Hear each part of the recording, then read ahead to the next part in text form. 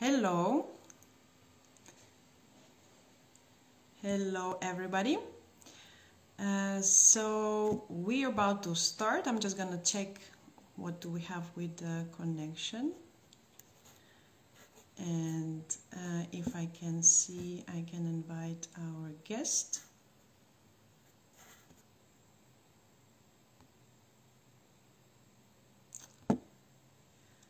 Okay, while I can see Mark, uh, our guest, join, but uh, just let's uh, have a few minutes to see if he can join the feed successfully. So to start today's artist talk, um, I would like to introduce myself. My name is Alina Ozerova, and uh, on behalf of Compulsive, uh, I welcome you to the opening of our spring edition. It's called Spring Pulse, and it's a program of eight weeks of different audiovisual experiments. this is the third pulse that we're doing. Uh, last time it was one year ago. Um, what's ahead of us? So for this program, uh, we also make works ourselves, and I'm just gonna very shortly, very soon mention um, people who are beyond compulsive, and we also invite people that we work with, people that we like our friends, uh, interesting audiovisual artists, and one of them is uh, Mark IJzerman, whose uh, audiovisual experiment we've been showing this week, starting on Thursday. Uh, a few words about Compulsive. Compulsive is a platform for sound art and even broader audiovisual art that goes a little bit beyond traditional practices, institutions, and venues. And especially during the time when we still are um, let's say, opening and closing culture, um, going um, in the direction of digital presentation and online presentation. I think it helps to many of us to keep ourselves fit in shape, to give us extra deadlines, and also to connect to the public. Um, I want to uh, also introduce the possibility for those of you who are joining us to ask your questions uh, by the end of the session. For that, I guess you know how it works in Instagram. You just need uh, to edit as a comment in the uh, little window on the bottom of your, of your, screen to the left.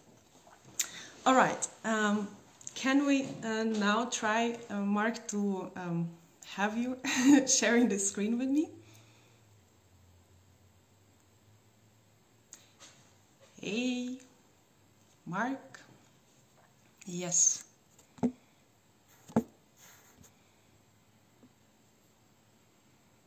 So, going live.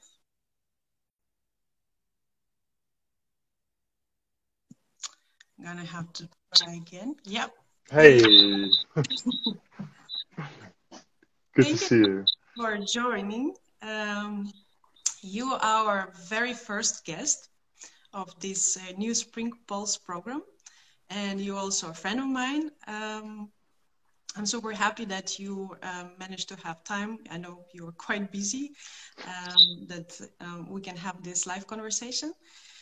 And um, Mark IJzerman, um, we uh, met with Mark actually a year ago, and that was uh, sort of accidental, but non-accidental as well.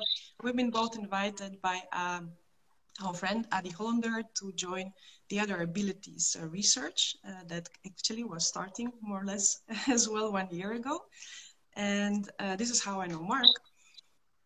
Yesterday, actually, yesterday we also had a, a short uh, um, professional meeting um, documenting the installation that I probably uh, would mention a bit later in this conversation. Um, Mark is presenting during this week uh, his uh, experiment that is also a part of a kind of larger um, series of works or a part of a bigger context. It's called They Were um, Water People. And we already shared the link to this work uh, this Thursday. This work will stay online on our Pulse channel throughout these four days, uh, with the Sunday as the last day to see. So if you haven't seen it yet, please follow the link. It was in the previous post. All right, I've done my official presentation part. With uh, one year of a gap, it's uh, not so easy, let's say, to um, to not be a bit nervous. But um, I would like to um, maybe give uh, here uh, the screen to the Mark to Mark, uh, asking um, to let's say share with us the particular focus of his practice because also as you could probably see in the interview that uh, um, we shared in one of the posts uh, mark works with a lot uh, of different media and different technologies uh, from ai to uh, let's say other technologies allowing public to interact with pieces but i'm not going to tell too much uh, i will ask mark to do that. Thanks so much and thanks for the invitation first and foremost um, yeah, about my practice. So uh, I come from a background in sound art, um, and I have been working um, uh, for my own in my own practice since about 2015 2018 when i started more with audio, audiovisual performances trying to combine for example uh, archival video footage with um, uh, things like uh, uh, shaders and kind of exploring technology. Uh, because from an early age, I was already always uh, working with technology and I studied music and technology. Um, so it was logical to explore kind of more um, those those things in depth. And at some point you come you hit a wall right so you hit a wall and you want to kind of say okay how, what can i say what can i how can i expand my practice uh, in a way. And uh, what was interesting to me was not anymore the technologies because every week there's something new and this is it's always going on, right? So um, uh, I started looking for ways of telling new kind of stories. And uh, uh, a big change came when back in 2019 I did a residency together with Sebastian Robert. So I was also joining in the in the people who are viewing now. So that's really nice. And we um, uh, together we worked on an audiovisual performance called As Above, So Below, in which we look at deforestation in South Central Chile. Um, kind of telling this story, uh, this complex, kind of intertwined story of um, local indigenous people, uh, the, the, the way they manage their land, uh, but the fact that they're also stuck in a capitalist system and have to deal with this uh, um, deforestation uh, issues uh, through audiovisual piece. So this was the first time I got to kind of tell a broader story um, with my art, and that was, yeah. that was a big change for me back in 2019, and since then I've been focusing my practice more and more towards also ecology. Um, and still using the, the position that I have, using uh, being able to really pick up technologies quite quickly uh, to uh, uh to tell these stories in different ways. Thank you for this very very kind of condensed description of also how your practice was developing, and. Um, I wanted to link uh, these last things you said about ecology also with the place where you're teaching. Because yeah. the faculty that you're part of is also called Ecology Futures, right?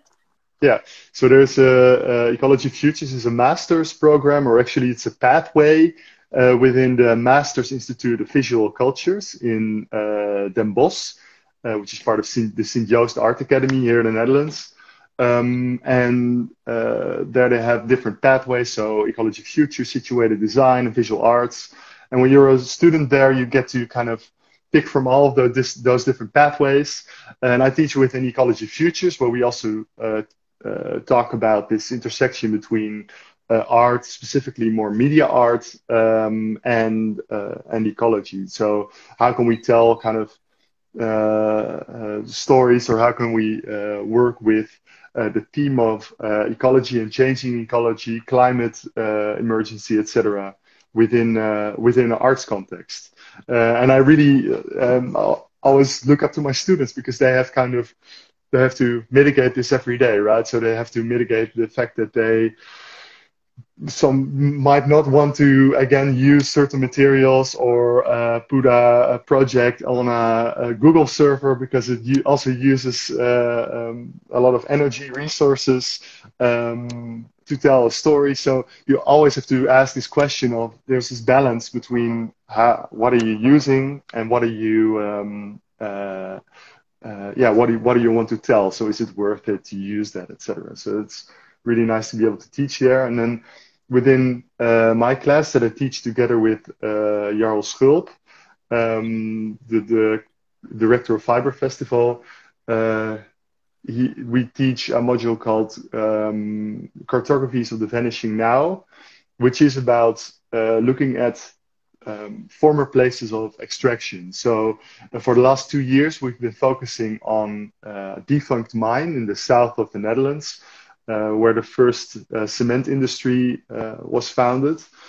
And we ask our students to make a project about that. And it's a very interesting place for that because um, this mine has this long history. It started back in the, the early 20th century and now, only two, three years ago, they stopped the factory and they stopped the mining, and they're giving it back to nature. And that already is a very interesting question. Like, what does that mean? Um, so we go there twice. Once with uh, um, uh, this year we in- invited uh, uh Sharon Renee Stewart, who is a deep listening expert, and she kind of did a, kind of a exercise where we got to know that space through listening. And the second time we went there with people from Natuurmonumenten, um, who uh, kind of govern that area within uh, Maastricht. Uh, so we get to know this place in different ways, and then we ask our students to make a project about it. And this is, yeah, th- this can be uh, because it's a very layered, complex place. This can be all kinds sorts of projects. And there will be some kind of showcase for their works, right? I guess. Yeah, so this is only one uh, class, so like a 10 week class. Um, I guide the students throughout the whole year. Um, but then uh, there will be a showcase, I think in May at V2 in Rotterdam, which is funny because I'm also working with V2, but it's uh, they're doing great work. it's a great platform going to Rotterdam and me too, I wanted to compliment your official photographer. oh, thank you. If I can call Adriana like this, because um, yeah, I, I I've sort of um, seen your field trips in uh, Rotterdam and in the harbor through the lens of uh, Adrian, and they're kind of big applause on the documentation. Um, but before we jump into the port uh, and into the problematics or the wider context of this um, latest experiment that you shared with us, I also wanted to ask um, just maybe um, a little thing about the storytelling that you were describing, storytelling of uh, non-human stories, yeah, of, uh, of Earth or of ecologies, but also uh, of creatures that um, otherwise cannot speak for themselves creatures yeah. or entities. Yeah, and here I'm I'm referring to this work uh, that I, I, had a chance to see yesterday. It's an uh, it's an um, art museum in Leiden, and it's called Human uh, Humans Talk to Me. And who who is asking that question, or who is giving this uh, suggestion? Yeah, so Humans Talk to Me is a collaboration I did with a writer, biologist, and um, world traveler uh, Arita Baaijens. Uh, uh, also with uh, Eke Brusset and designer Axel Koemans. And it was created for an open call by the Lakenhal in Leiden. And um, for this uh, exhibition, they were asking people to come up with uh, ideas for installations about um, growth, growth that went beyond control, that went out of control. Um, and what we came up with, Arita had already been busy with trying to uh, find a voice for the North Sea. So I worked together with Arita um, to train an artificial intelligence model um, on different, more poetic texts of the North Sea. Um, so it could kind of gain a voice of its own. So it, it's using these um, Uh, uh, uh, artificial uh, intelligence text models to create a, a, new voice for the North Sea. Of course, you cannot, you can only do that. What better way than words, right? I mean, humans use words. So I really like this idea of using words, something that the sea will probably not never have to kind of explore if that is uh, a possibility. So we trained this AI model, and then it started also coming up with its own words like knobben, for example, which is a word which sounds very Dutch, but it doesn't exist. So through this, we want to rewild the Dutch language um, as the, the, Dutch have a very technocratic way of talking about stuff. Also, what should be in the North Sea? Like, are we building a new wind farm? Are we doing this? So it's always very utilitarian, and um, we want to kind of challenge that by trying to give the North Sea also a voice. So in this installation uh, that you and I also visited yesterday, which is nice, um, you can uh, you're invited to kind of lie down in this um, uh, yeah ball fish nets, old fishing nets, and then you can ask the North Sea a question by using your voice. Um, so you can say, "Hey, North Sea," like you would address Siri, for example, and it will say, "Okay, what do you want to trust to me, or what do you want to tell me?" You can tell the North Sea something, you will get an answer. And these answers are mostly quite poetic, but sometimes there's a really nice kind of yeah uh, thing that happens where it lines up with your uh, uh, with your question, the answer. Um, so the work is uh, in Dutch, uh, yeah. and I remember that you were mentioning that it's also uh, let's say the system is a bit picky about the accent, yeah, within the Dutch language yeah. So best accent to address a Noordzee in this case. Yeah. So this is the friction. This is a friction in my own work where uh, I often use these technological means. In this case, there was also like a Google service that was used uh, to make sure that you could talk to the North Sea. Um, which of course there's a friction because it uses these uh, these technologies, these uh, that also use energy again.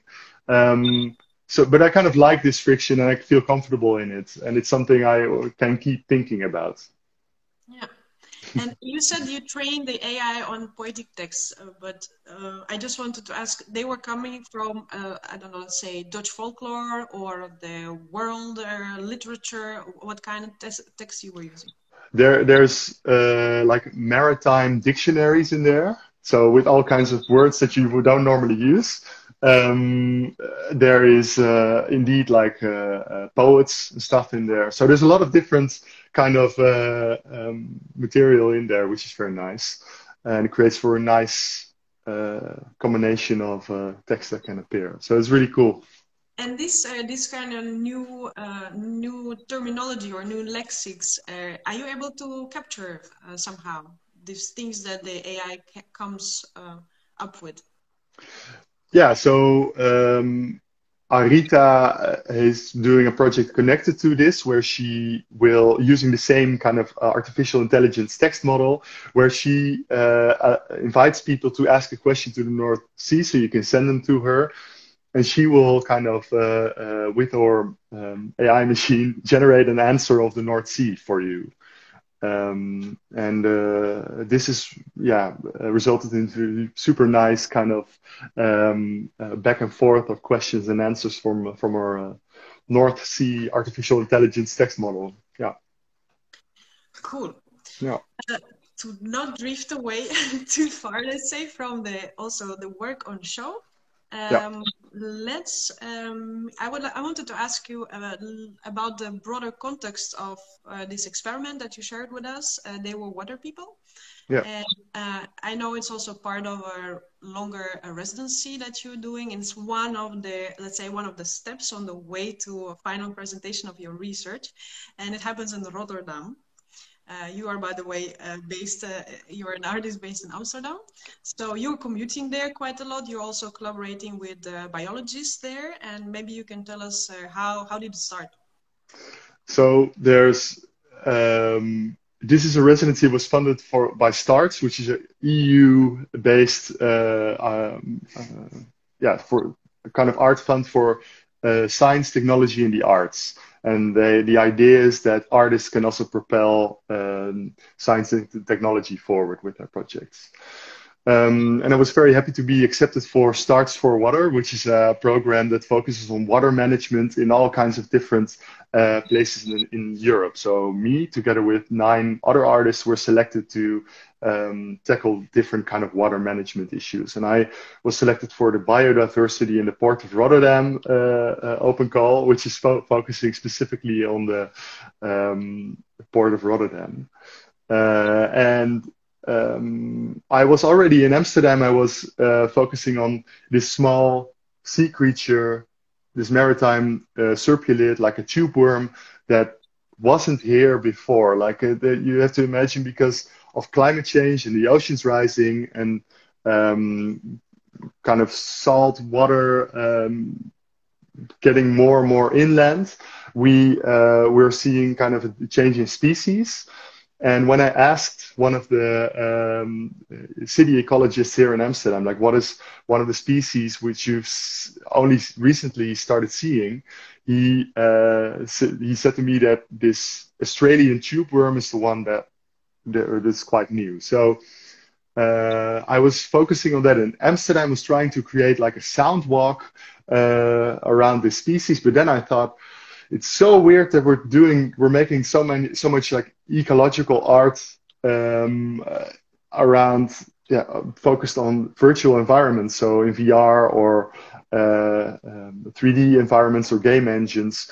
And i started wondering don't we lose the connection with the natural world even more when we do that? So it's kind of strange for me to make a, a work about the sea creature that i've never even seen from up close of course, I don't mean we should start fishing the oceans and kind of looking at every fish or something, but there there's something to say for knowing the material that you're telling a story about, of course. And now you have an aquarium, right?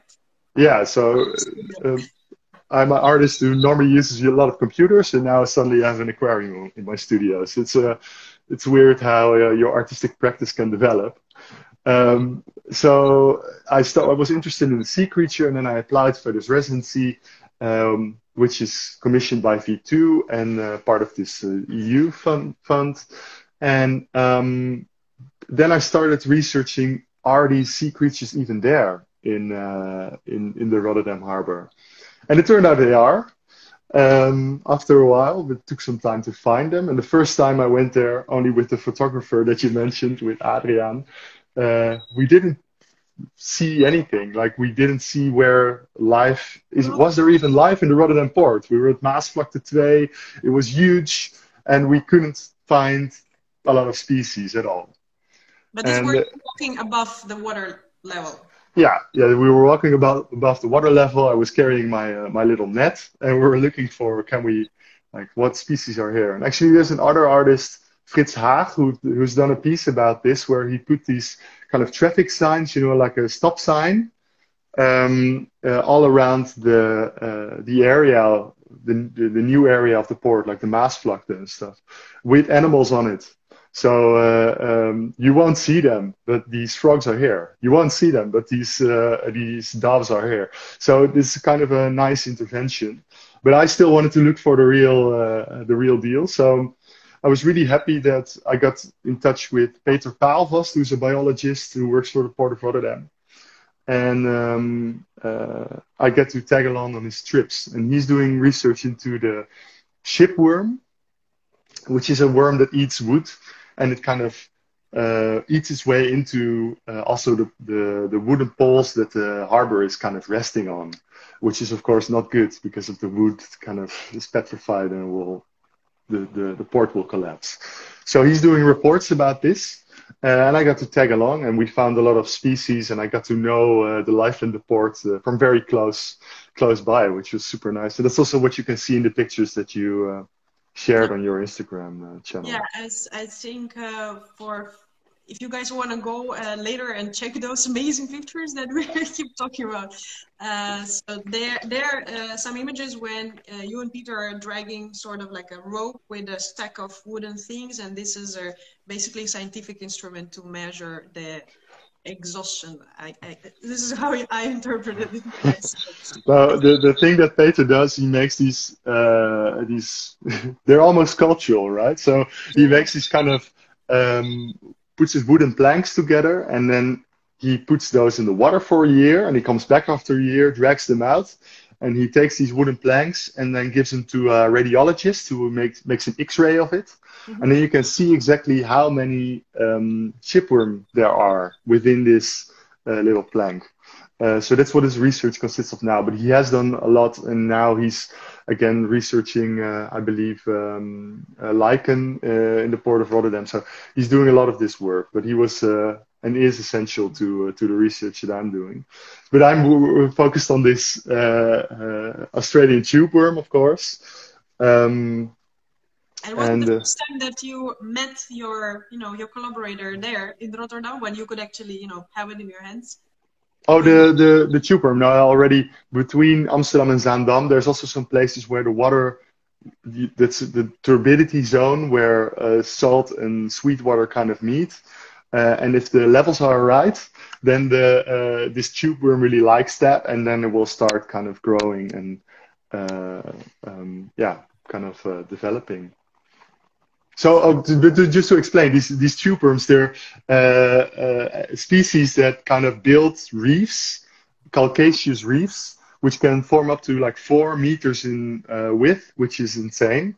Um, and I got interested in this in the port of Rotterdam because I thought there's an interesting connection between the infrastructures, the huge infrastructures that we built there. It's really, it's insane. Like when we were driving around there, I thought it would never end. It's, uh, you can easily, yeah, yeah, yeah, you can drive 200 kilometers in one day and you've only seen a bit of it. It's crazy. Uh, and for an artist, uh, an artist without a driver's license is not uh, it's not like not such a, a easy thing. But um, um, but then I thought, okay, we have these huge infrastructures, and apparently there is this small invasive species which they call it invasive, um, which has been been there only since the 70s, um, and it's clogging up the pipes of our infrastructures. Uh, uh, but it's only an invasive species to us. Like for other species, really like this species because it gives them shelter, it gives them food.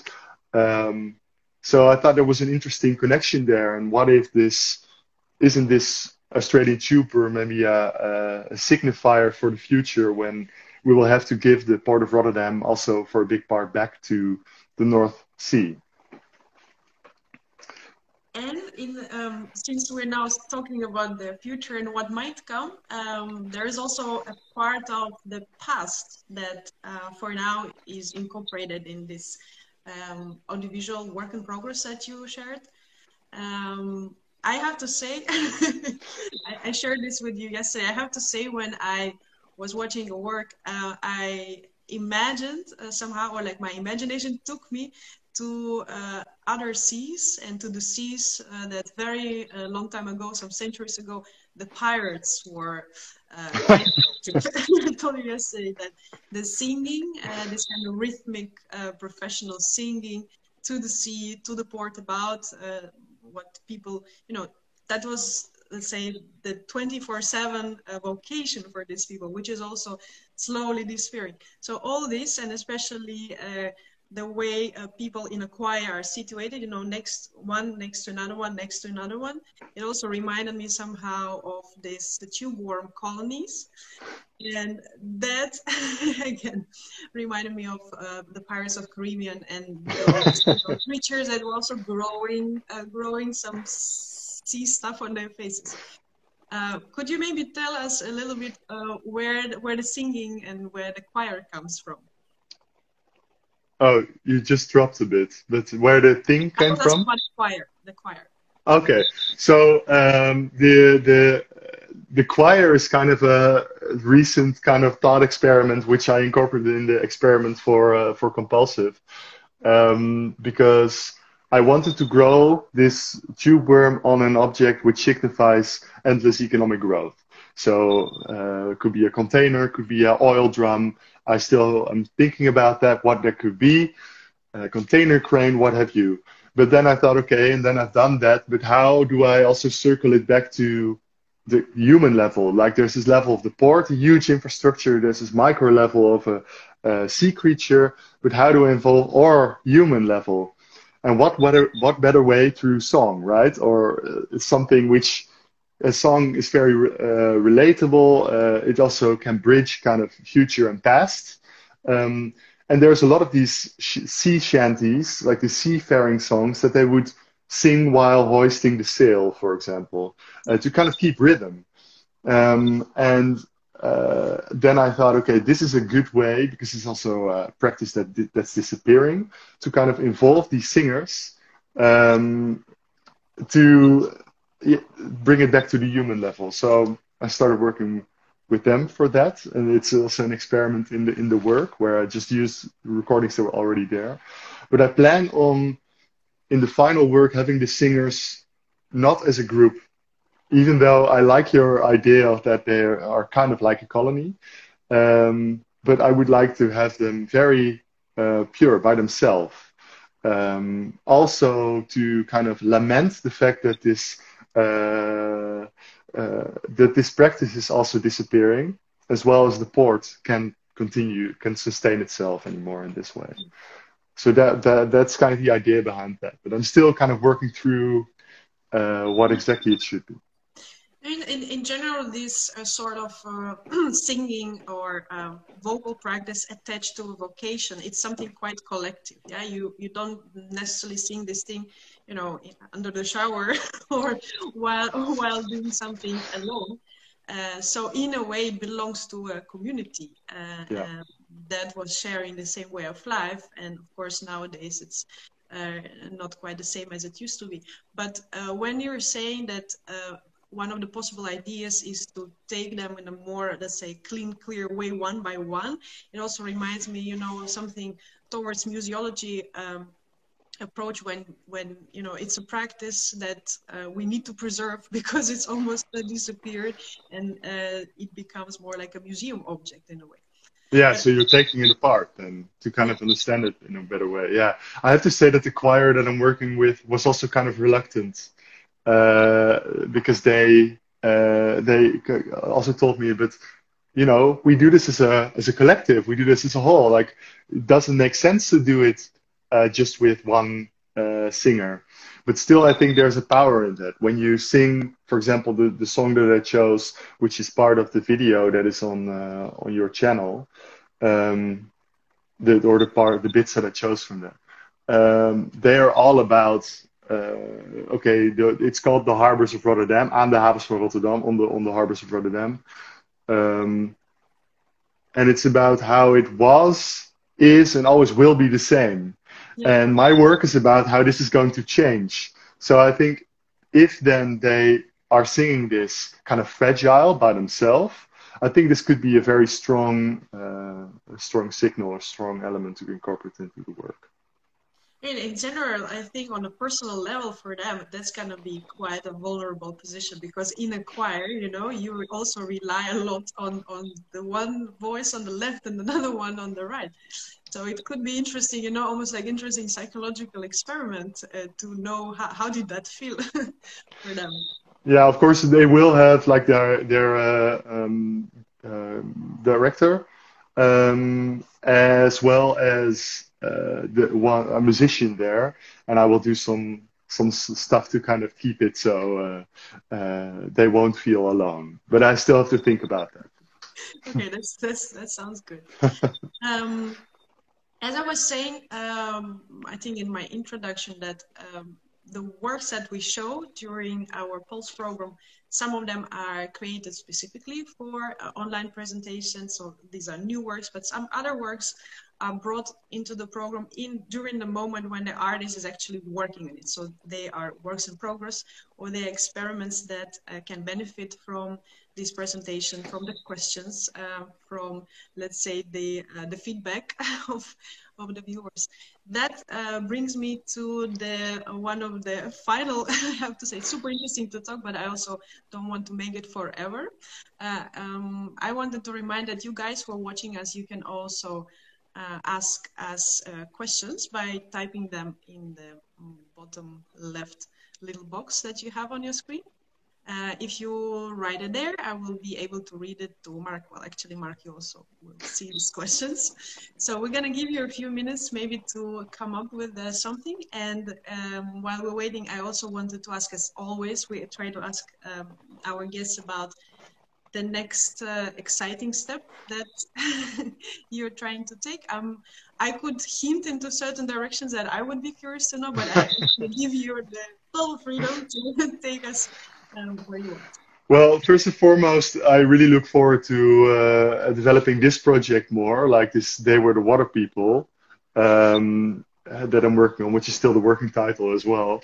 Uh, and it's such a privilege to get this funding from the EU to be able to do a project which is so long because I started with this in November and the, the uh, final exhibition isn't until September of this year.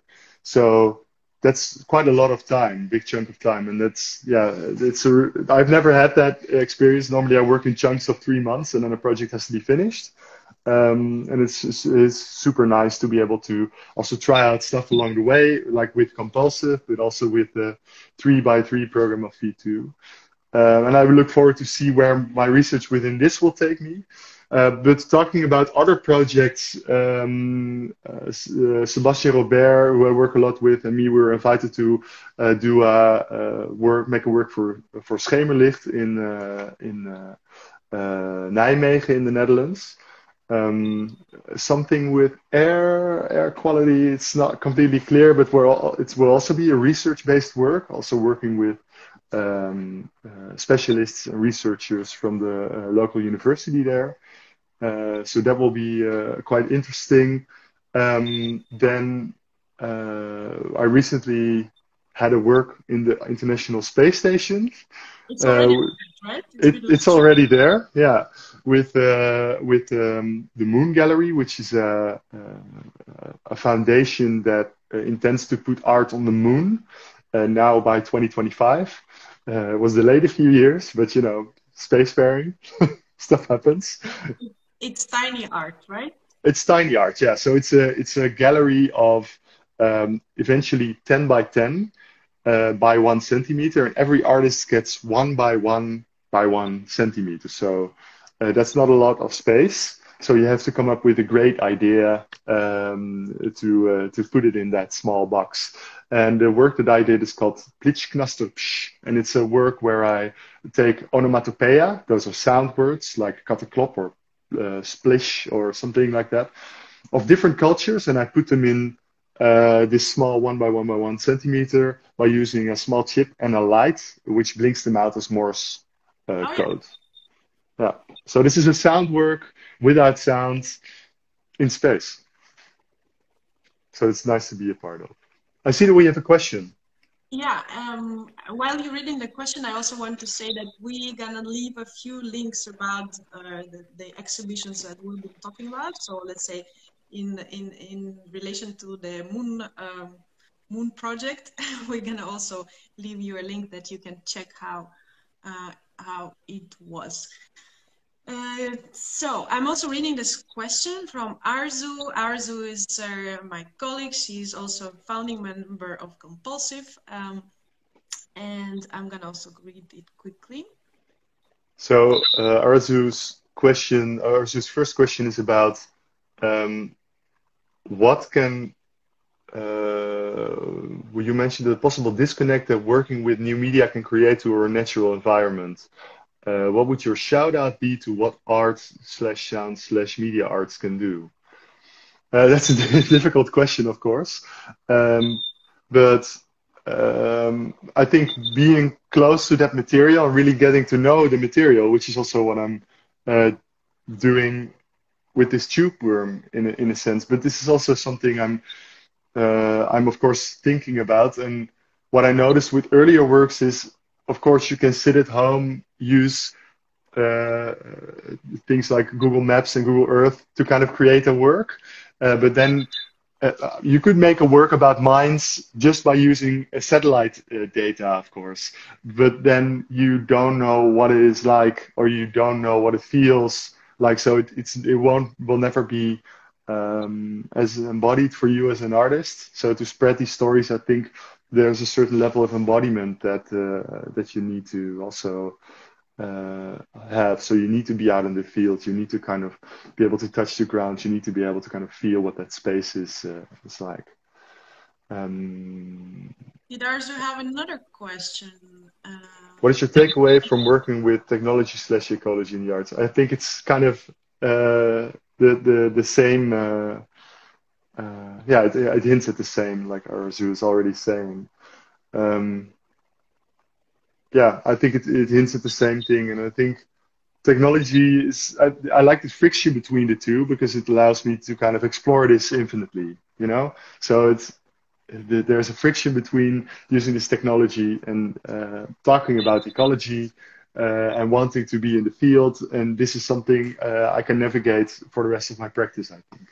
So I don't see it as something that I need to solve because that would then I would be done. no. And I remember this uh, actually from the conversations I think we had uh, in summer during the Other Abilities project.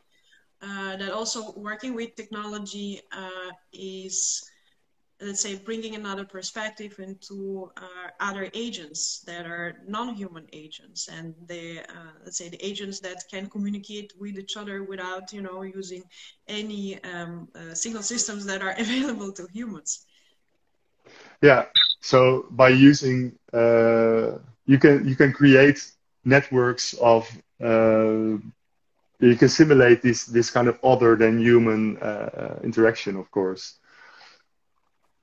Sorry, I didn't. Uh, do you want to specify your question or? I, I think it was just I was remembering things from. Okay.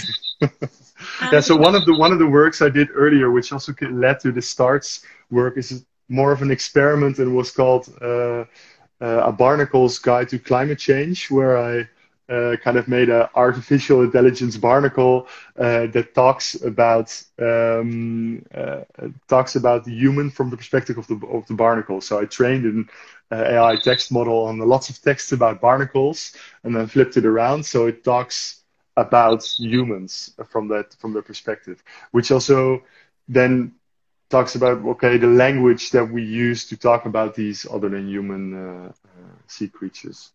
So that's yeah. Think I, I, think maybe it's also would be great to um, if you can send me the link uh, of that project i would include it in the description. Yeah it's on my video as well. Redirect people over there uh, we have to close this second session and uh, first i would like to thank you mark for joining us and also to remind uh, to you guys that uh, we are they were the they were water people is available still online um, until tomorrow evening on the Pulse channel. The links and everything, I think we already shared many times, but I will repeat it. And uh, very briefly, I wanted also to introduce the next artist that who's coming um, following week.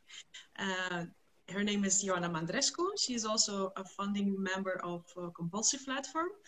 And um, on Thursday, we will launch uh, let's say, uh, make online available access to her new work. And on Saturday, we will have another talk. Um, later on, we will also publish all these talks on our website, and all the links will follow very shortly on our social accounts. Thank you very much for joining, everybody. Thank you for questions, and uh, have a great uh, end of this uh, beautiful sunny day, at least how it was in Amsterdam. Thanks so much. Thanks so much, Alina. See you soon. See you. Bye bye. bye bye.